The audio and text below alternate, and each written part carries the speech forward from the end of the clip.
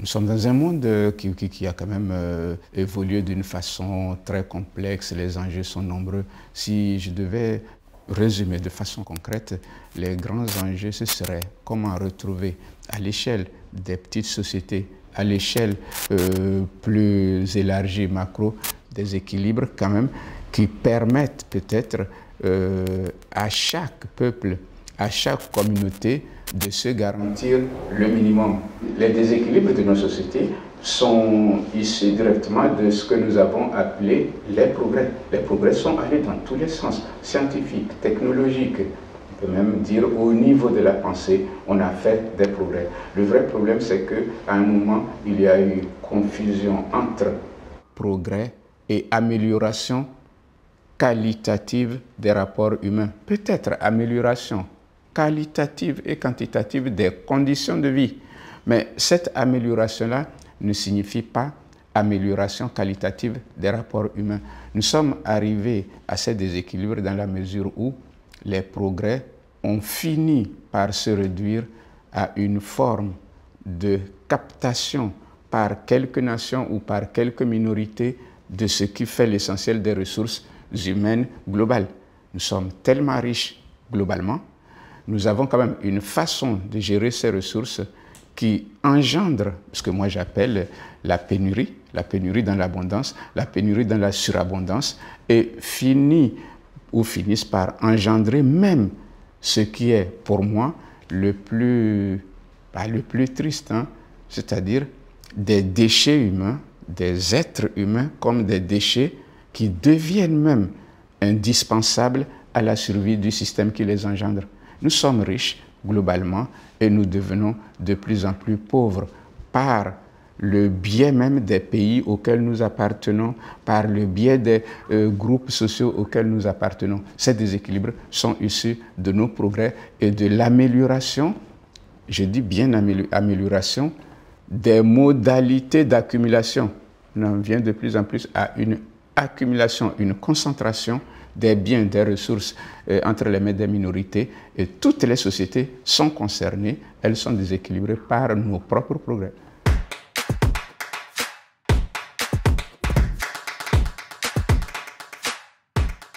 C'est une pénurie organisée par le système dans lequel nous vivons, c'est-à-dire pénurie qu'on peut symboliser, que j'ai symbolisé dans certains de mes textes par l'idée de mourir de soif au bord d'un fleuve. C'est-à-dire, quand on en arrive à des symboles de mourir de soif au bord d'un fleuve, comme aujourd'hui dans les, communications, quelqu'un comme Faustin Nyekula le disait pour Kisangani, c'est quand même le symbole de la société, du système dans lequel nous vivons, c'est-à-dire des gens qui ont quand même une ville euh, traversée par un fleuve et qui n'ont pas d'eau potable. C'est-à-dire la pénurie, elle est euh, une organisation humaine, elle est issue des modalités de développement que nous avons considérées comme inévitables et qui se sont universalisées.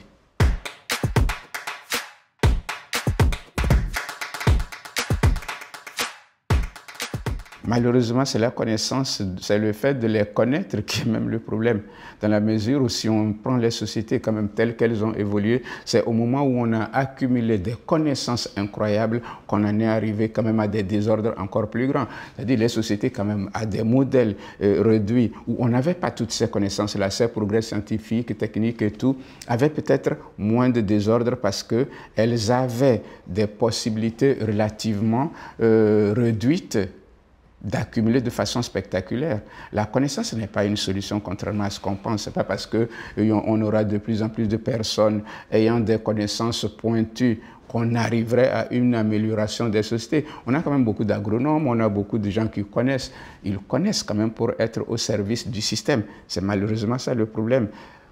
Ce n'est pas, ce sont pas les connaissances qui mettraient fin à ça. C'est à quel moment on serait globalement d'accord pour reconnaître que ce système doit être changé, que les êtres humains ne soient pas de plus en plus réductibles à des, moyens, mais qu'on arrive à une idée qu'ils sont la fin ultime des progrès. Pour le moment, les êtres humains sont mis au service du progrès comme des moyens. La fin n'est plus Nécessairement, les êtres humains, la fin, c'est plutôt des processus d'accumulation de plus en plus complexes. Mais on met au service de, l'accumulation des êtres humains.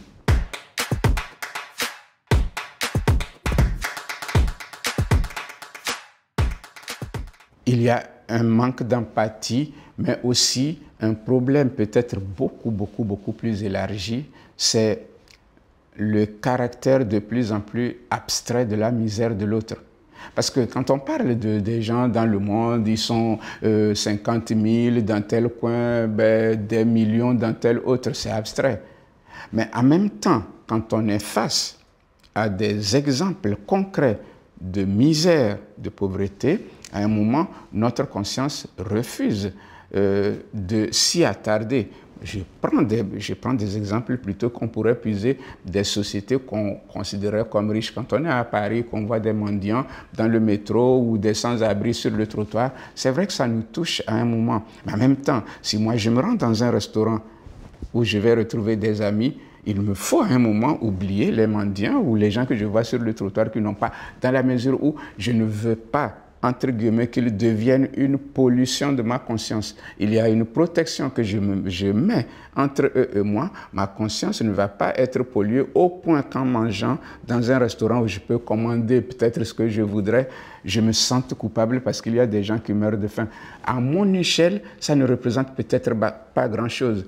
Mais les grands systèmes en sont arrivés à cette abstraction de la misère de l'autre on sait qu'ils existent, mais comme on refuse de les voir, comme on ne les voit pas, ça ne dérange personne. Et le fait qu'il y en ait de plus en plus ne dérègle pas le système. Au contraire, à un moment, ça pourrait permettre des discours euh, qu'on pourrait considérer comme cyniques, qu'on puisse dire on a une des formes de solidarité pour aider les plus fragiles, au lieu de dire on mettrait fin au système qui fabrique des fragiles. C'est-à-dire on, on arrive à ce cynisme-là, ce n'est pas faute de le savoir, on le sait, mais le fait de le savoir, ne nous empêche pas de vivre. C'est un peu comme si, bon ben, j'étais en train de faire la fête, des gens pleurent, leurs larmes ne m'empêchent pas de faire la fête.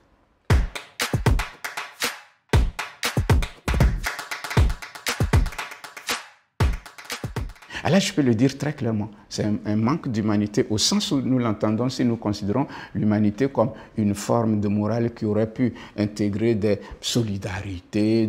C'est, un, un manque d'humanité. Je ne peux pas l'attribuer juste à l'égoïsme, c'est plutôt un système qui l'engendre. Ce manque d'humanité, ce manque d'empathie généralisée est plutôt quelque chose de systémique. Il se retrouve dans toutes les sociétés. Il n'y a pas une société où on pourrait dire qu'on ne l'observe pas. À un moment, c'est plutôt les élites, j'appelle élite de façon trop simple, mais on, on comprend ce que j'ai dit. Dans chaque couche de société, dans chaque pays, ceux qui ont le plus se détachent de plus en plus de ceux qui n'en ont pas, ou bien s'en protègent moi, je quand je me suis intéressé, par exemple, aux sociétés euh, latino-américaines, bah, en Colombie, par exemple, ce qui m'a frappé, c'est quand même comment des ensembles sont conçus pour des riches et comment on met des murs. On est dans la prison de l'abondance pour que les pauvres ne viennent pas perturber notre équilibre. Je pense que ça, ça, mettra encore du temps. Je ne vois pas tellement dans l'immédiat comment on pourrait casser euh, ce genre de système.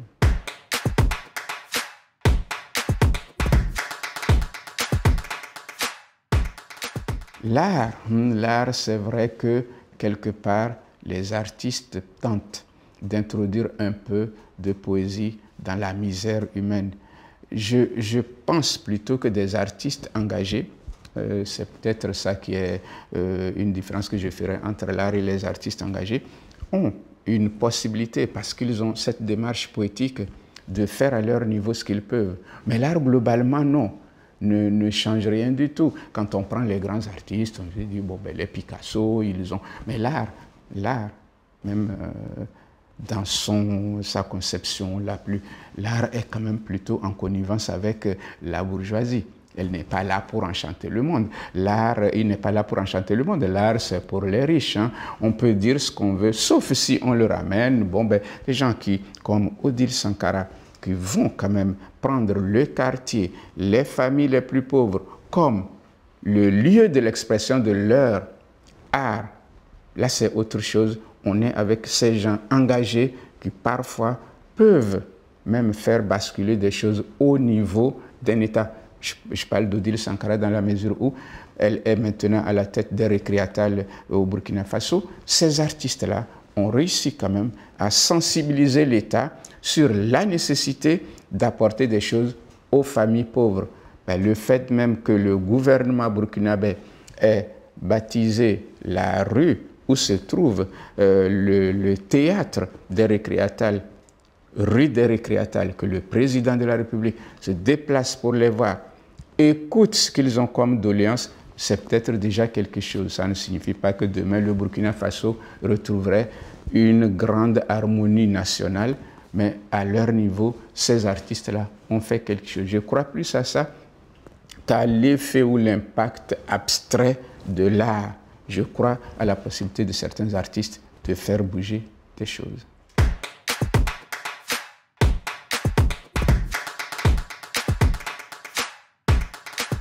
Moi, l'Afrique restera quand même le coin euh, des discours un peu faciles, pour une bonne raison que déjà, quand on parle de ce continent, on dit l'Afrique et à partir de l'Afrique, on plaque un discours, on parle d'un continent. C'est un peu difficile hein, de parler de l'Asie de cette manière-là. C'est un peu difficile de parler du continent américain de cette manière-là ou de l'Europe. Le vrai problème, c'est que nous ne nous posions pas tellement de questions sur c'est quoi l'Afrique, qu'est-ce que nous entendons par là. Elle est quand même comme entité politique, économique, une invention récente. Ça ne veut pas dire que les civilisations africaines sont récentes. L'Afrique, telle que nous l'apercevons actuellement, est une invention récente et je me réfère pour ça au philosophe euh, euh, RD congolais, Bob états-unien depuis des décennies déjà, Valentin Yves Moudibé, quand il écrit ce livre, L'invention de l'Afrique, qui a d'abord changé les études sur le continent en anglais et qui est traduit en français 33 ans plus tard, euh, quand il écrit ce livre, quand on le lit, on prend conscience de ce que ça signifie. L'Afrique est une invention coloniale ou co-invention avec des Africains. Mais quand nous en parlons comme si nous parlions d'une société homogène, nous oublions quand même que on est dans, un, dans une réalité tellement complexe. De quoi nous parlons? Quelle Afrique quel pays Ce que j'ai dit dans le livre, c'est qu'à un moment ou à un autre, il nous faudrait revenir à une certaine modestie si nous voulons parler de ce continent, préciser de quoi nous parlons, de quel coin, de quel aspect nous parlons et ne plus poser ce discours général sur un continent comme s'il était homogène. Et ça, ça n'a pas changé.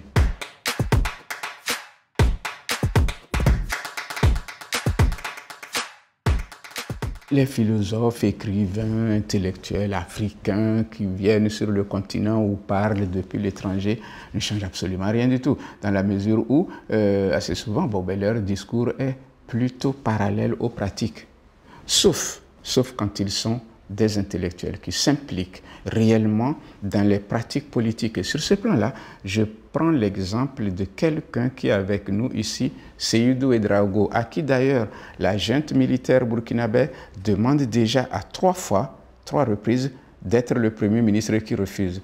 Quand Seydou Edraogo et ses amis créent le groupe de recherche euh, Free Afrique, avec à l'intérieur de ce groupe le groupe Praxis, en vivant au Burkina Faso après avoir été obligé de partir en exil pour 11 ans, il fait partie de ces intellectuels qui changent la face du monde. Le groupe euh, Praxis ou euh, Free Afrique est à l'origine de beaucoup de changements qualitatifs au Burkina Faso. Là, c'est parce qu'il s'agit d'intellectuels très impliqués sur le terrain. La plupart d'entre nous n'ont pas cette implication et ce que nous écrivons ou racontons? Ça n'a aucun écho avec ceux qui sont en charge de nos pays. Donc, globalement, ça change très peu de choses le fait que nous soyons nombreux à parler, à écrire. Et ce que je vais dire, c'est que nous avons une utilité un peu trop théorique.